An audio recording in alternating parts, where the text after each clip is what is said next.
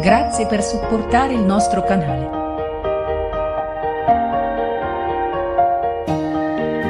Romina Carrisi si mette a nudo in una lunga intervista al Fatto Quotidiano e rivela, ho lavorato in uno strip club.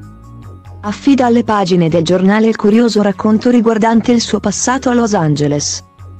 La figlia 34enne di Albano e Romina Power non ha problemi ad ammetterlo, ha fatto la cemeriera in uno strip club.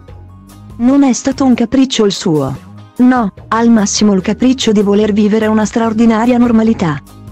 Anche perché non mi sono mai sentita una figlia di papà. Semplicemente avevo bisogno di provare esperienze nuove. Di tuffarmi in un mondo completamente sconosciuto. Ho osservato molto, mi sono divertita, ho fatto incontri assurdi, spiega. Poi aggiunge, ogni tanto arrivava Quentin Tarantino, gli piaceva una ragazza che somigliava molto ad Uma Thurman. Noi cameriere eravamo costrette a dare tutte le mance al manager del locale, un tipo stronissimo, una sera un cliente iraniano si innamora di me e mi rifila mance da 100 dollari. Così correvo in bagno e mi infilavo di nascosto le banconote negli stivali. A fine serata il capo mi disse, com'è che non hai tirato su manco 10 dollari? Io feci la faccia da svampita e me ne andai soddisfatta, con le banconote nello stivale. La Carrisi non si è mai offesa quando le hanno dato della privilegiata.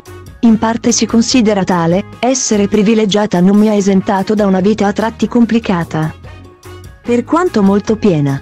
Soprattutto da adolescente, ho vissuto momenti in cui ho provato sensazioni difficili da gestire.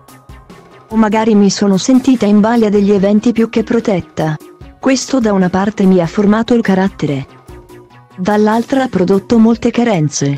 Poi però si cresce, si cerca di strutturarsi meglio e, se necessario, di corazzarsi. Ed io ad un certo punto ho capito che per farlo dovevo prendere in mano la mia vita. E chiarisce, me ne sono andata in America a studiare. Volevo scendere dalle montagne russe.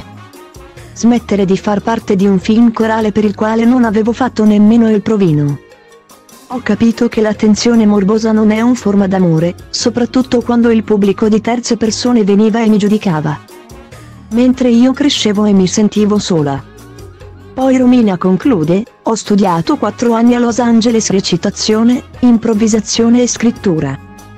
Sono andata per studiare e preparami e ho capito che mi piace di più stare dall'altra parte delle telecamere, ho fatto anche l'attrice e mi piace stare in scena ma ho compreso che cercavo dei ruoli soprattutto per nascondermi.